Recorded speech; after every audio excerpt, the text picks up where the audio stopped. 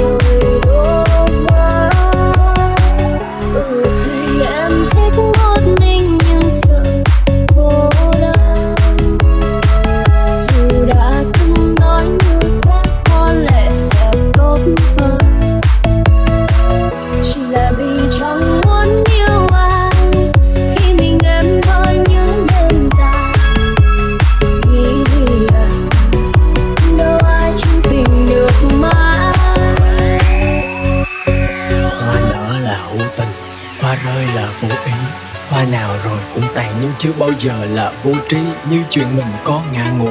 Ngọt ngào hóa vô vị, anh vẫn nhớ em điên cuồng bất chấp mọi khía cạnh. Vô lý dù biết anh trong em bây giờ chỉ là hình hài một người dân. Không là bạn, không là thù, trong lòng cũng không còn chỗ đứng, nhưng anh vẫn thương.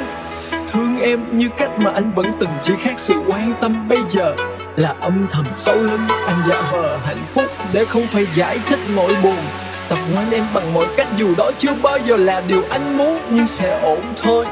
Như cách em thường nói, mà nước ngầm dù trôi về đâu vẫn sẽ âm ỉ nơi đầu nguồn sau thăng trầm. Cũng đến lúc học cách buông im lặng và biến mất tự mình khắc ghi quá khứ, khắc kỷ niệm anh khắc tên em trong tiềm thức như chuyện hoa bất tử. Không còn thấy cũng chẳng thể chạm suốt đời chỉ để trong tim không vững.